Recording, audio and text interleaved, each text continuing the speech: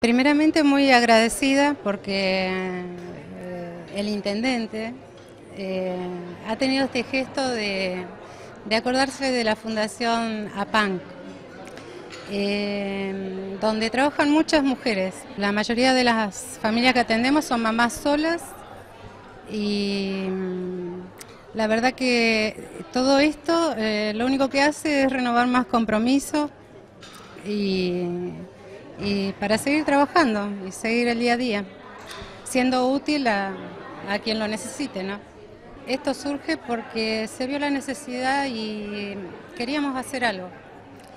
Y ese algo eh, significa llevar alimentos, eh, hacer traslados para los controles desde su casa hacia el hospital.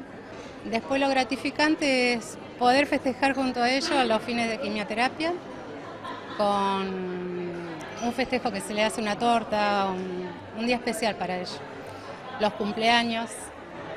Y la satisfacción más grande por ahí es, eh, después de 20 años de trabajo, podemos ver chicos que se han recuperado y que son papás, son papás también hoy, y eso te da mucha satisfacción.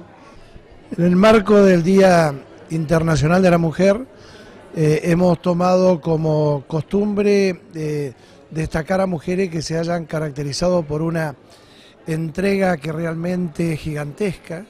María Cristina al frente de APANC eh, nos está dando una demostración después de haber despedido a su hijo, le ha quedado la creencia y el compromiso de hacer este aporte con tanta generosidad, con tanta entrega. A nosotros nos hace eh, ponernos en, digamos, en la convicción de hacer este reconocimiento para que se conozca, porque al conocerse esto nos hace ser un poco más optimistas.